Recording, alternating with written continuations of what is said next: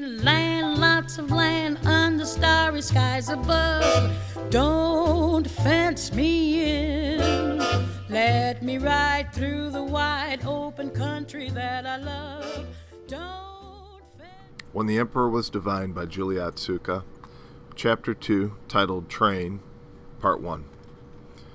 The train moved slowly inland. Somewhere along the western edge of upper Nevada, it passed a lone white house and a lawn and two tall cottonwood trees with a hammock between them, gently swaying in the breeze. A small dog lay sleeping on its side in the shade of the trees. A man in a straw hat was trimming hedges. The hedges were very round. They were perfect green spheres. Someone, maybe that man or maybe that man's that same man's gardener, had planted flowers inside of a red wagon next to the mailbox. In front of a wooden picket fence was a victory garden and a hand painted sign that read, For sale. Beyond the house was the dry bed of a lake, and beyond the lake there was nothing but the scorched white earth of the desert stretching all the way to the edge of the horizon. On the map, the lake was called Intermittent. Intermittent Lake, because sometimes it was there and sometimes it wasn't. It all depended on the rain. I don't see it, said the girl. It was September of 1942, and her face was pressed up against the dusty window of the train. She was 11, and her hair was black and straight and tied back in a ponytail with an old pink ribbon. Her dress was pale yellow with a white with wide excuse me, with wide puffy sleeves and a hem that was beginning to unravel. Pinned to her collar was an identification number, and around her throat she wore a faded silk scarf. Her shoes were Mary Jane's. They had not been polished since the spring. See what? asked her brother. He was eight years old, and his number was the same as the girl's. The girl did not answer. The lake had been dry for two years, but she did not know that. She had never seen the desert before, and although she had been uh, good, but she'd been a good but not outstanding student who had learned the meanings of many words, she had not yet learned the meaning of the word intermittent. She looked down again at the map to make sure the lake was really supposed to be there. It was. Without lifting her eyes from the map, she stuck out her hand. Lemon, please, she said. Her mother leaned over and dropped a lemon into the girl's palm. The girl stood up and opened the window and tossed the lemon out into the desert. It soared through the air and hit a gnarled trunk of a blackened sage as the white house grew smaller and smaller in the distance. The girl had once been a star pitcher of a softball team, and she knew how to throw. Don't lose that arm, her mother said under her breath. I wasn't planning on it, said the girl. She put the map away in the suitcase and beneath her seat and sat down. An old woman walked by, swaying slightly from side to side, and the girl smelled something damp and musty that reminded her of rotting leaves. It was the smell of old, fine, excuse me, it was the smell of fine old silk. The girl took a deep breath and closed her eyes, but she could not get comfortable. The seats were hard and stiff, and she had not slept since they had left California the night before. The girl had always lived in California, first in Berkeley, in a white stucco house on a wide street not far from the sea, and then, for the last four and a half months, in the Assembly Center at the Tanforan racetrack south of San Francisco. But now she was going to Utah to live in the desert. The train was old and slow and had not been used in years. Broken gas lamps hung from the walls, and the locomotive was fueled by a coal burning boiler. Some of the passengers were sick from the uneven rocking of the cars, and the crowded compartments smelled of vomit and sweat, and very faintly of oranges. The soldiers had left a crate full of lemons and oranges on the floor of the car earlier that morning. The girl loved oranges. She had not eaten a fresh orange in months. She could not think of eating one now. The train lurched forward, and she leaned over and put her head between her knees. I think I'm going to throw up, she said. Her mother gave her a brown paper bag, and the girl opened it up and began to heave. Her brother reached into the pocket of his trousers and gave her a tissue. She crumpled it in her fist as her mother slowly rubbed her back. Don't touch me, said the girl. I want to be sick by myself. That's impossible, said her mother. She continued to rub her back, and the girl did not push her away. Toward noon, the train passed through a town south of Winnemucca. The shadows fell close to the buildings, and the sky above was bright and clear. The girl saw a large sign on the side of a water tower that said, Buy U.S. war bonds every payday. She saw the advertisements for Old Schenley whiskey in the American Medley Hour. They were still in Nevada, and it was still Sunday. Somewhere in the distance, church bells were ringing, and the streets were filled with people in their Sunday clothes walking home from the morning service.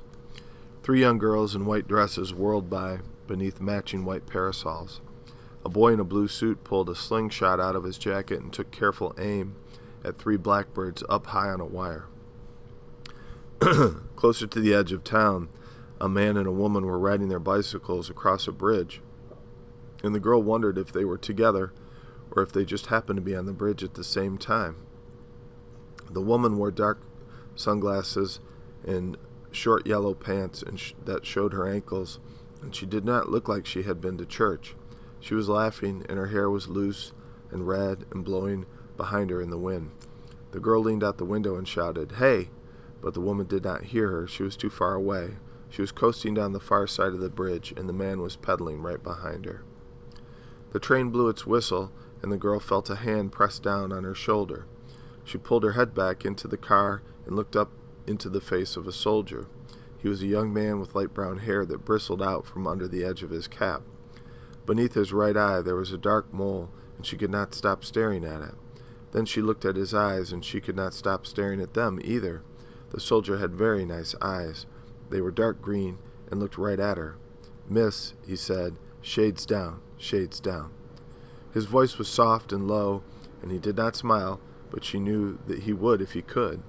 She did not know how she knew this, but she did. Yes, sir, she said. She pulled down the shade, and the man and the woman and the bridge were gone.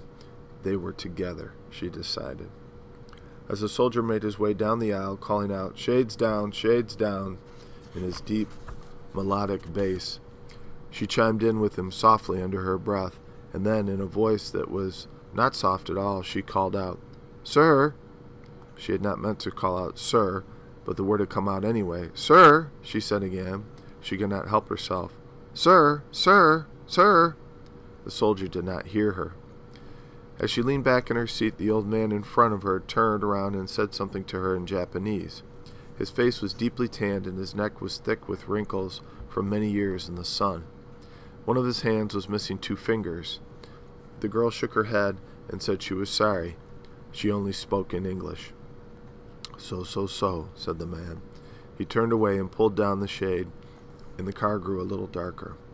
When the soldier reached the end of the car, he touched the gun on his hip lightly with his right hand to make sure it was still there, and she thought of how he had touched her shoulder the same way, lightly, and with that same hand, and she hoped he would come back again.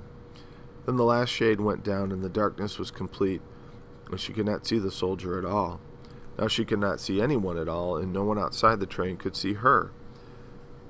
There were the people inside the train and the people outside the train, and in between there were the shades. A man walking alongside the tracks would just see a train with black windows passing by in the middle of the day. He would think, There goes the train, and then he would not think about the train again. He would think about other things what was for supper, maybe, or who was winning the war. She knew it was better this way. The last time they had passed through a city with the shades up, someone had thrown a rock through one of the windows. The train slowed and crossed a wooden trestle over the dry bed of a river, and then there were no more towns by the tracks. There was only the highway, and it was all right to raise up the shades. The girl pulled on the string at the bottom of the shade, and the car flooded with sun. Do you think we'll see horses? her brother asked her. I don't know, said the girl. Then she remembered the mustangs she'd read about in National Geographic. The Spaniards had brought them over hundreds of years ago, and now there were thousands of horses just roaming around wild. Every autumn they came down from the hills to graze on the high desert plains. If a cowboy needed a new horse, all he had to do was go out into the desert and get himself one. It was as simple as that. She imagined a cowboy snapping his fingers and a horse, a wild white stallion, galloping up to him in a cloud of hot swirling dust so she told the boy that they probably would. They probably would see some horses, because there were more wild horses in Nevada than in any other state. She'd read that in the National Geographic, too. How many do you think we'll see? Quite possibly eight. The boy seemed satisfied with this answer. He laid his head down on his sister's lap and drifted off to sleep. The girl was still too exhausted to sleep.